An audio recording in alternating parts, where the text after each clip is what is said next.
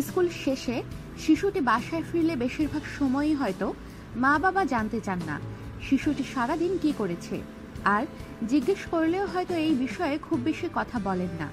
শিশুটি হয়তো হ্যাঁ বা না এর মধ্যে উত্তর শেষ করে দেয়। তবে শিশুর মানসিক বিকাশ ভালোভাবে হওয়ার জন্য কিন্তু এইসব বিষয়ে প্রশ্ন করা প্রয়োজন। এতে স্কুল বা লেখাপড়ার সম্পর্কে কোনো ভীতি নিয়ে সে মা বাবার সঙ্গে খোলামেলা আলোচনা করতে পারে। স্কুল থেকে ফেরার পর শিশুকে জিজ্ঞেস করতে পারেন, এমন কিছু প্রশ্নের তালিকা দিয়ে আজকে আমাদের আয়োজন। স্কুলের কোন জায়গাটি তোমার খুব ভালো লেগেছে?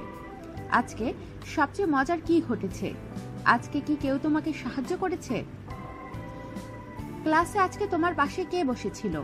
তার সঙ্গে বসতে তোমার ভালো লেগেছে? কোন বিষয়টি আজ তোমাকে খুব হাসিয়েছে? কোন বিষয়টি খুব বিরক্তিকর ছিল আজ? টিফিনের বিরতিতে কার সঙ্গে খেলা করেছ? ক্লাসের সবচেয়ে মজার মানুষটি কে? ক্লাসের সবচেয়ে রাগী তোমার কাকে মনে হয়? শিক্ষকের সঙ্গে আজ কি করেছ? কোন শব্দটি শিক্ষক আজ বেশি উচ্চারণ করেছেন?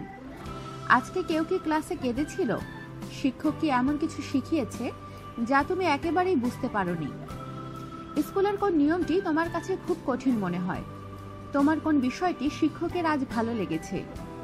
তোমার কোন বিষয়টিতে শিক্ষক বিরক্ত হয়েছে? আজকে নতুন কোনো শব্দ শিখেছ? পাঠদানের কোন বিষয়টি তোমার সবচেয়ে ভালো লেগেছে? তুমি কি স্কুলের ওয়াশরুম ব্যবহার করেছ? সেখানে যেতে কি তুমি নিরাপদ বোধ করেছ? আমাদের সাথেই থাকুন আর সাবস্ক্রাইব করুন।